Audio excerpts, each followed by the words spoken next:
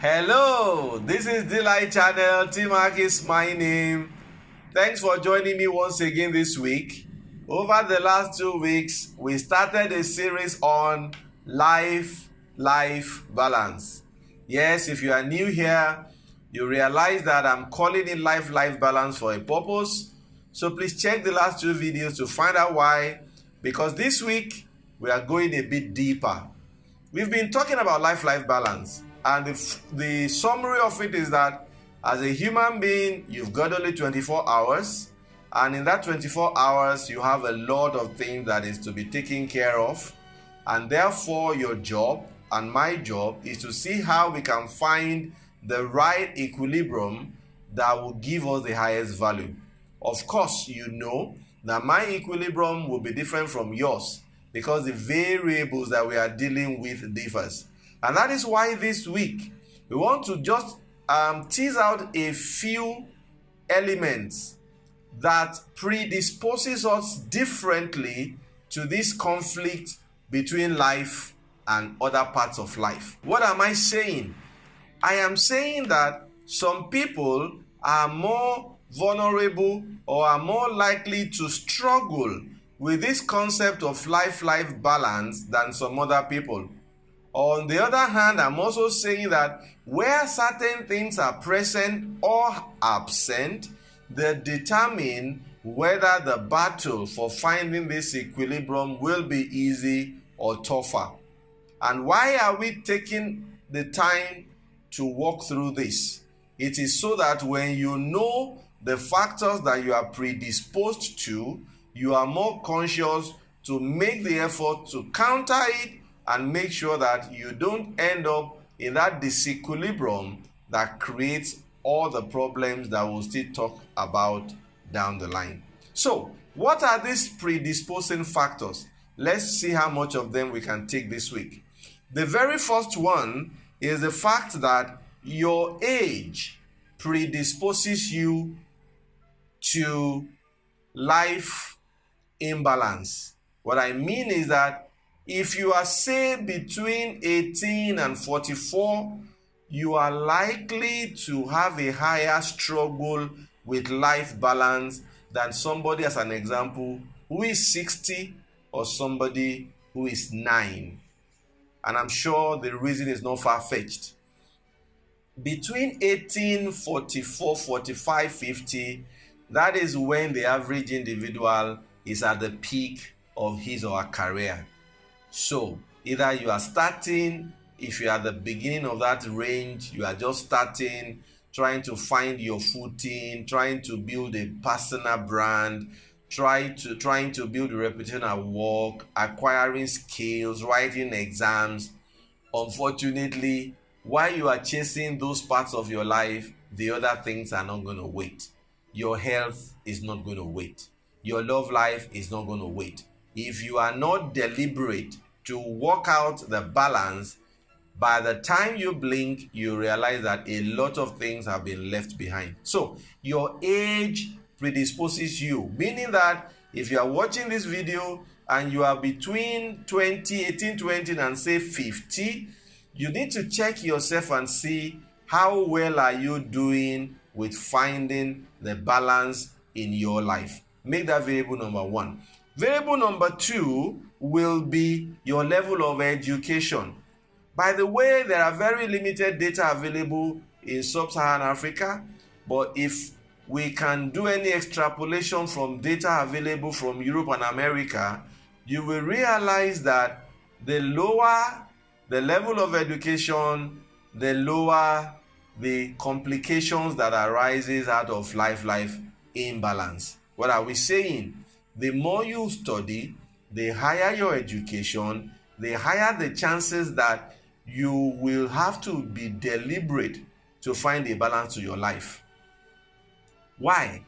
The more qualified, the more competent you are, the higher the different things you can easily dabble your hands into the more the kind of roles you can take the more the different kind of jobs you can take the more the different kind of responsibility even the society will foster on you the more the platforms that you have available to you. Therefore, if you are very highly educated, you are very predisposed to struggling with finding balance. How are you doing so far? Let's move to the third variable. The third variable that we're talking about has to do with the industry or the kind of work that you do. The more corporate, multinational, sophisticated the kind of job you do, the higher the chance that you will have a measure of imbalance or you must struggle with it and overcome it. Otherwise, it will overcome you. Why? Because if you work in a multinational, as an example, where when you are sleeping is when the other part of your company is waking up and your own output is somebody else's input. With that simple equation, it's obvious to you that by the time you are supposed to be finding your other the other parts of your life, what are you doing? You are still caught up with trying to ensure that the handshake is happening properly with the other leg of your organization. But just imagine a farmer who only has to look after his farm, and um, whether it is a small farm or a big farm, there are certain things you cannot do in the night. All right. So the nature of that job or the nature of that of your industry determines the amount of of, of, of effort or the kind of complications that can arise as a result of life life imbalance. In fact, research shows that um, professions like the legal profession are very, very, very predisposed to a higher level of life life imbalance. Again, I ask the question how are you doing so far? Let's move to the next variable. The next variable is gender. Gender.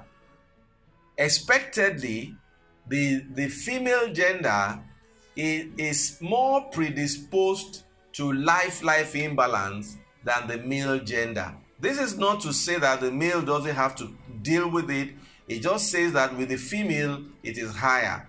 And it is very obvious to see. Why? Because the role or the perceived role of the of the female in the society is significantly changing. Before now, the expectation is that the average wife stays in the house, looks after the children, looks after the husband, looks after the house, and that's what she does. And when the children are gone, she's just out there looking for how to find meaning to her life. But more and more women are now found in the in the in the world of work.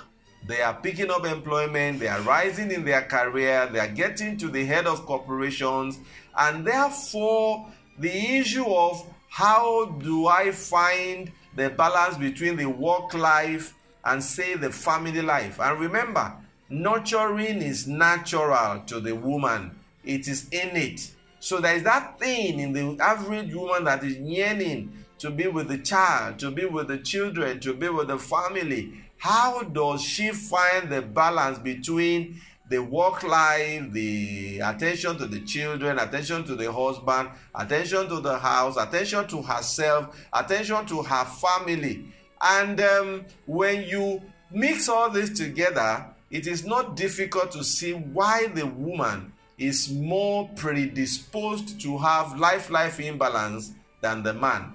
Of course, some men are also caught up in this. In fact, almost all men are also struggling with it at one level or the other, unless you just have a high level of irresponsibility. So, again, how are you doing? Um, there is a lot more to still talk about this, but I realize that I got to stop now so that this win uh, this video is not too long.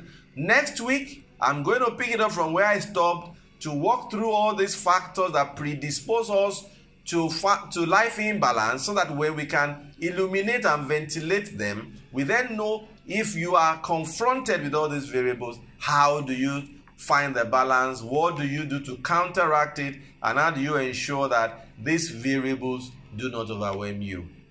I hope this is making sense to you. I wish I got to know this a, a lot earlier than I did. But now you have the opportunity, and no matter where you are in your journey, it's never too late to make an effort to find balance in your life. Down the line, you will understand why. So, until we continue next week, feel free to share, write in, let's hear from you, and um, make sure that you make it a date with us next week. And until then, don't ever forget that the channel you are watching is Delight Channel, and that my name is T-Mac, and that all I'm trying to do is what? Make a little difference. I hope to see you next week. Bye.